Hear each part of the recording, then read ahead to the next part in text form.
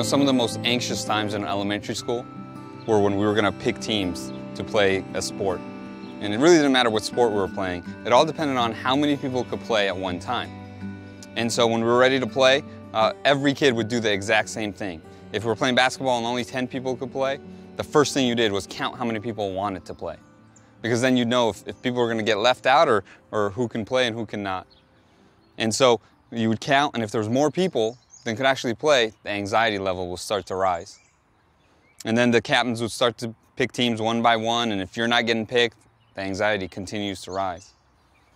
And inevitably, at the end, some people didn't get picked. And they were left out. They were excluded. You know, no one likes to be left out. No one wants to be excluded. And in Ephesians chapter 3, Paul has just talked about the amazing grace that God offers us. In chapter 1, he's talked about how this grace uh, it lives inside every believer and has incredible power for us.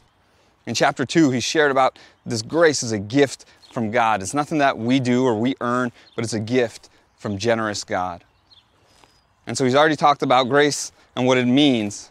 And in chapter 3, he's sharing with them who it's for. And Paul says, it's for everyone. It's for Jew and Gentile. It is for everyone. And nothing illustrates this fact that the gospel of grace is for everyone more than Jesus' own life. You know, Jesus has a knack for going after those who had not been picked, going after those who had been excluded, those who had been rejected. And over and over again throughout his life, you see him going after the ones that have been left out. One day, Jesus and his disciples were traveling through the area of Samaria. And uh, usually, Jews wouldn't even travel through Samaria. The, the rabbis would go around Samaria because the Samaritans, they were thought to be unclean. And so Jews and Samaritans would, would not come into contact with one another. A normal Jew wouldn't want anything to do with a Samaritan, much less a rabbi. But that doesn't stop Jesus. In fact, Jesus sends his disciples away, but he stays. And he goes up to a well, and there's a Samaritan woman there. And he engages in conversation with her. Not only does he not stay away from her, he actually engages her. And he asks her for some water from the well.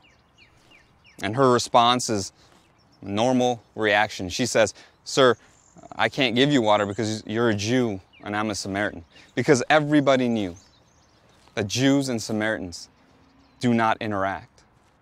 But again, that doesn't stop Jesus. So he tells her, if you only knew who you're talking to, you would know that I can give you living water, that would, you would never thirst again. And so she, obviously, that sounds good to her, so she says, Sir, can you give me some of this water? And Jesus, already knowing something about her, says, Why don't you go and get your husband? To which she probably hung her head and said, I don't have a husband. And that's when Jesus says, I know. In fact, you've had five husbands. And so this woman who has been rejected all her life just because she's a Samaritan and, and also by these five husbands. You see, we normally look at this woman in a negative way because she's been with five husbands, but one of the things we need to understand about time period back then was only the husband could initiate divorce. So it's very likely that it's the husband who sent her away time and time again. So, this woman who's experienced so much rejection in her life comes across this man, Jesus. And Jesus responds to her by saying, There's a time coming and has now come, and it's come because Jesus is there. And he says, Where the true worshipers will worship God. You know, Jesus doesn't say these people or that people or uh, this label or that label. Jesus says anyone who wants God can now have him. You see, the gospel of grace, Jesus' gospel of grace, is for everyone. And the fact is, it's needed by everyone. And the good news, the good news of the gospel, is that doesn't matter who you are, where you've been, it's for you. It is all inclusive. Pastor John Ortberg shares a story about uh, cattle ranchers in Australia. And so these Australian uh, ranches are hundreds of square miles. And these ranchers need to figure out a way to keep their cattle on their own ranch because they don't want them going to, off their property, so on and so forth. So these cattle ranchers have two options. One, they can build a giant fence around their whole property, which would take a really long time. Or they can choose option two. They can build a well in the middle of their property. And because the cattle understand that there's now a place where there's water, where the, the life source is, they'll, they won't stray too far away. They'll stay on the property. You know, people in, in our day and in Jesus' day, and really throughout all of history, people are into building fences. I mean, we love building fences. And sometimes we, we build fences to keep our stuff in. And sometimes we build fences to keep people out. And unfortunately, this bleeds into our, our faith. And unfortunately, a lot of times, we exclude people from the gospel of grace. And we need to decide are we going to be people who, build fences, or are we going to be people who dig wells?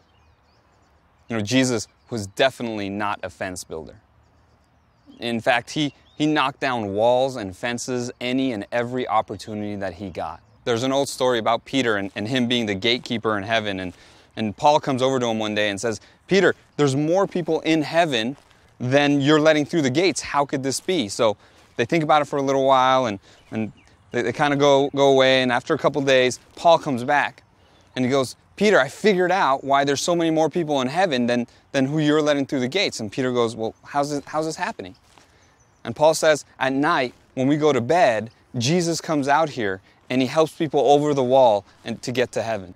You see, over and over and over, we're confronted with the fact that Jesus says his gospel is for everyone. It is all inclusive. Pastor and author Brennan Manning says this about God's all inclusive grace. The gospel of grace is for everybody. It's for the rich and it's for the poor, for the educated and the uneducated, for the Jew and the Gentile, for the black and the white and the orange and the blue and everything else in between. It is all inclusive. So may we be well people. May we be a kind of people that knocks down fences and walls. May we be a kind of church that meets people at the well and offers them the living water of Jesus.